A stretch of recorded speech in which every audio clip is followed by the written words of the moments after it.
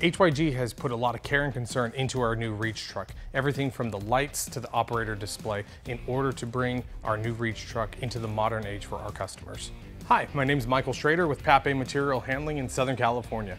This morning we're going to be talking about some of the key features of the brand new Reach truck from the Hyster-Yale Group and the things that you want to be talking about with your customers.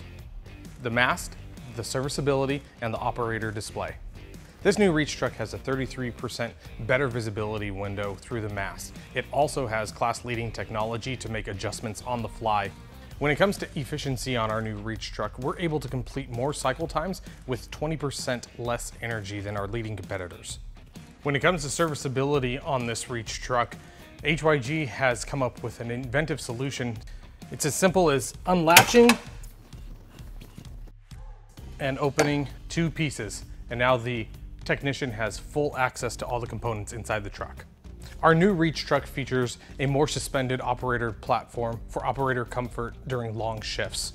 Our new platform features a decrease in shock and vibration by 19% compared to that of Crown and up to 60% compared to that of Raymond. The estimated cost savings for the serviceability on this mast in particular is $1,000 to $2,500 depending on the usage of the customer. As you can see, our new Reach truck is ready to go for your customer with its new technological and serviceability enhancements. We have these Reach trucks in stock and ready to go, ready to move your customer into the modern age. Thanks again for your time. Again, my name is Michael Schrader with Pape Material Handling in Southern California.